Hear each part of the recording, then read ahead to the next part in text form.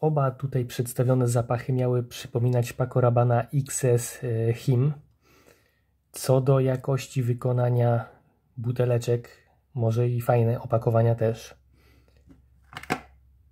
Zaraz opiszę, który jest lepszy, bo jeden z nich jest znacznie lepszy niż drugi. Lamis Creation. Chyba każdy z nich kosztuje około 25 zł w sklepie.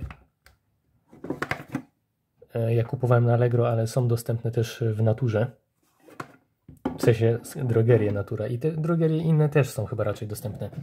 Tak czy siak, psiknąłem na rękę. E, tego już dwa dni testuję. Po dwa psiki dziennie.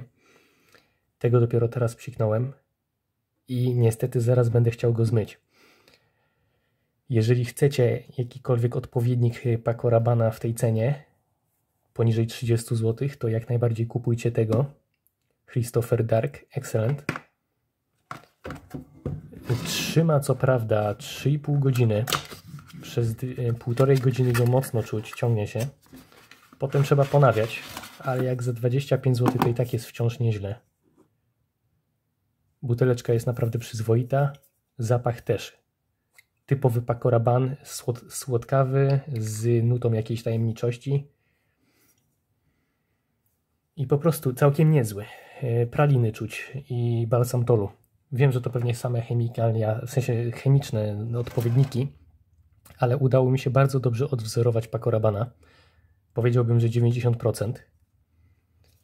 A co do tego drugiego zapachu, to mimo, że buteleczka mnie zaskoczyła, bo była naprawdę ładna i opakowanie też, myślałem, że będzie fajnie.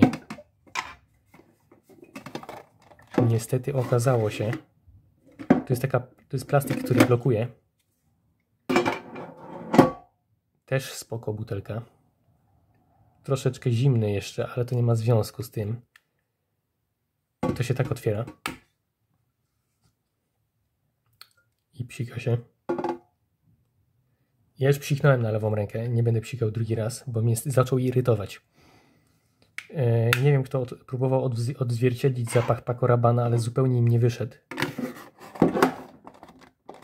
i psiknąłem go dosłownie przed chwilą.